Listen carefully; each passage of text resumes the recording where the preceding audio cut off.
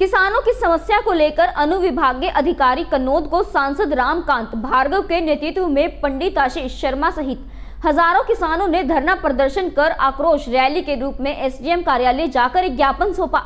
कन्नौद खातेगांव विधानसभा क्षेत्र के किसान भारतीय जनता पार्टी किसान मोर्चा के माध्यम से विदिशा लोकसभा क्षेत्र के सांसद रामकांत भार्गव एवं क्षेत्रीय विधायक पंडित आशीष शर्मा के नेतृत्व में किसानों ने अपनी मांगों को लेकर आक्रोश रैली निकालकर मुख्यमंत्री के नाम एसडीएम के सी पते का ज्ञापन सौंपा। किसानों की सोयाबीन फ़सल में बांझपन आफलन की स्थिति बनी हुई है, जिसका सर्वे कराकर किसानों को राहत राशि एवं प्रधानमंत्री फ़सल बीमा योजना का लाभ दिलाया जाए। समर्थन मूल्य पर मध्य प्रदेश शासन द्वारा 2019 में खरीदे गए गेहूँ का बोनस आज तक किसानों को नहीं मिला। इसे अविलंब किसानों के खाते में डाला जाए। भावांतर भुगतान योजना के अंतर्गत 2018 में खरीदी गई सोयाबीन की फ़सल से पाँच सौ प्रति क्विंटल की भावांतर राशि आज तक किसानों के खाते में नहीं आई है। उसे भी शीघ्र ही किसानों के खाते में डाला जाए। खाते गाँव तहसील में गेहूँ चना की फ़सल जनवरी फरवरी 2018 में ओलावृष्टि के कारण गाँव में बावन गाँवों की फ़सलों में भारी नुकसान हुआ था। जिसकी बीमा राशि तत्कालीन बीमा कंपनी आईसीआई लोम्बार्ड्स द्वारा आज तक किसानों को प्राप्त नहीं हुई है, उसे भी दिलवाया जाए। मध्य प्रदेश की कांग्रेस सरकार के घोषणा पत्र के अनुसार मध्य प्रदेश के सभी किसानों के दो लाख रुपए तक के कृषि ऋण 10 दिन के अंदर माफ़ करने का वादा भी किया गया था, जो आज तक माफ़ नहीं हुआ है। इस कारण किसान डिफॉल्टर की श्रेणी में आ चुके हैं। किसानों का दो लाख रुपए का ऋण अविलंब का माफ़ किया जाए।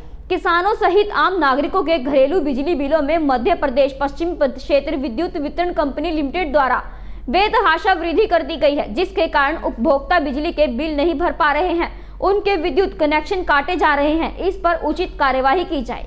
आंदोलन था आपका जो रैली प्रदर्शन था इसका क्या मकसद था यहाँ कन्नौज क्षेत्र में बावन से अधिक गाँव बत्तीस से अधिक गाँव में अफलन की स्थिति है। अभी प्रशासन ने सर्वे प्रारंभ किया नहीं है। हम चाहते हैं कि शीघ्र प्रारंभ हो सर्वे।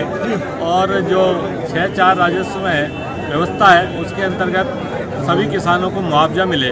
दूसरा विषय ये है कि खाते गाँव में बावन गाँव में जो बीमा की राशि मिलना है वो अभी तक मिली नहीं है। मैंने जानकारी प्राप्त की है।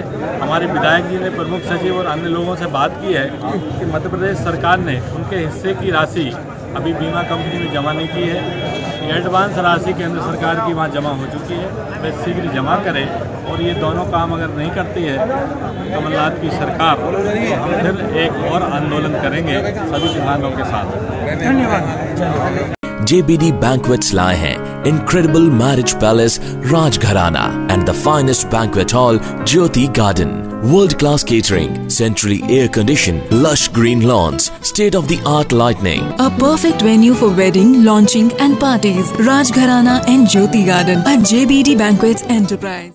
ऐसे ही लेटेस्ट खबरें पाने के लिए सब्सक्राइब बटन पर क्लिक कर बेल आइकन को दबाएँ।